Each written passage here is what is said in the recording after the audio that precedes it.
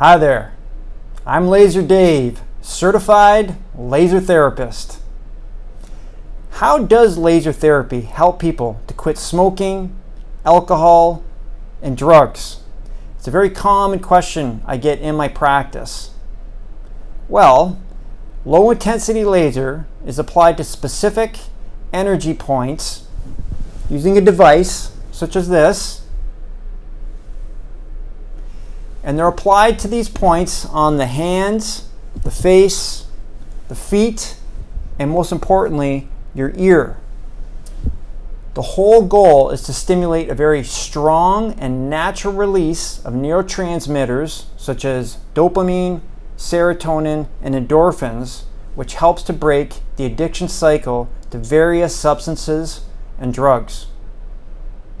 The end goal is to dramatically reduce the withdrawal symptoms and to make it much easier for people to add healthier habits to their lifestyle.